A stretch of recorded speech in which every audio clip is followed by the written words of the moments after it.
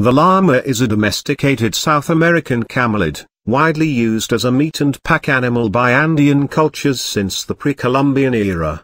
The height of a full-grown, full-size llama is 1.7 to 1.8 meters, 5.6 to 5.9 feet, tall at the top of the head, and can weigh between 130 and 200 kilograms, 290 and 440 pounds.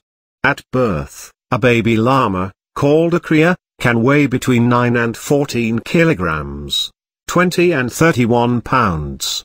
Llamas typically live for 15 to 25 years, with some individuals surviving 30 years or more. They are very social animals and live with other llamas as a herd.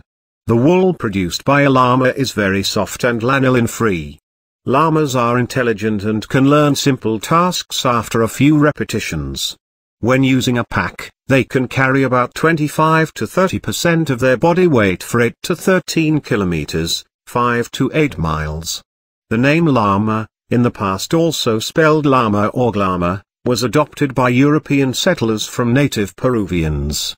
Llamas appear to have originated from the central plains of North America about 40 million years ago.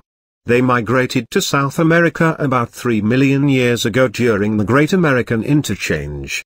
By the end of the last ice age, 10,000 to 12,000 years ago, camelids were extinct in North America.